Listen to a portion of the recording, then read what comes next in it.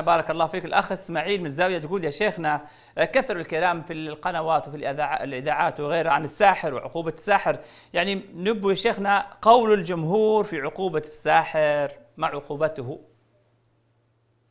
أو حكمه يعني. آه، الساحر الذي ثبت عنه السحر آه، حكمه عند أكثر العلماء آه، هو القتل.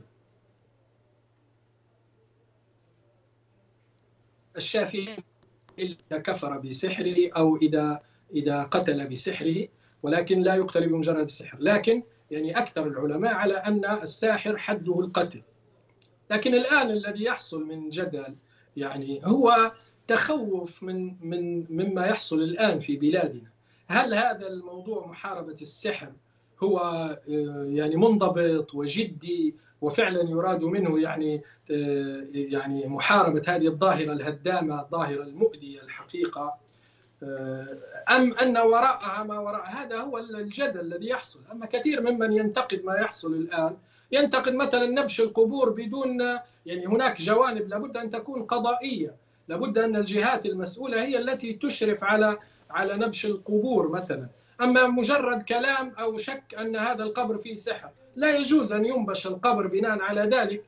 يعني فهناك أمور في أصلها هي صحيح حكم شرعي والسحر حق وله تأثير.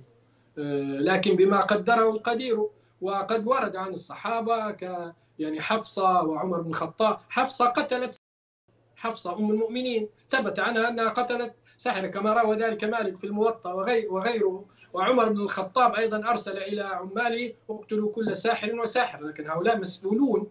لكن أن الباب يفتح في الفوضى الموجودة في بلادنا فهذا هو التخوف. يعني ويأتي ناس أحيانا بدافع الغيرة وبقلة العلم أو الله أعلم يعني بالدوافع يعني ينبشون القبور وحتى القبر له حرمة. لا يجوز لك أن تنبشه بمجرد الشك يعني. الآن أنت تجد آه، أكرمكم الله مثلا كما حصل في بعض الحوادث الأيام الماضية. فأرة ميتة في في القبر. قال لك هذا سحر. من قال إنه سحر يعني. مثلا يعني. فالأمر هو في الإشكال الذي يحصل الآن في في الأيام الماضية والجدل الحاصل المفروض أنه لا يكون في حقيقة السحر وأنه جريمة وأن عقوبتها القتل وكم من أناس عانوا من السحر سحر التفريق وسحر والسحر يترتب عليه أمراض. في في أناس انتحى قتلوا أنفسهم بسبب السحر الذي يعني جعل لهم. فالساحر حكمه في الأصل القتل وبدون استتابة على الصحيح لكن نحن يعني نطلب أن يضبط الأمر حتى قضائيا مساله فيها دماء وفيها حرمات. يعني لا يترك الأمر في في ظل الفوضى والانفلات الموجود في بلادنا وانتشار السلاح والكتائب المسلحة. وثم يقال نحن نريد أن نحارب يعني السحر نحارب مثلا ظاهرة السحر أو أو نحو ذلك. نحتاج إلى ضبط الأمر فقط ولا ننكر وجود السحر ولا أثره ولا عقوبته من حيث أصل الحكم الشرعي والله تعالى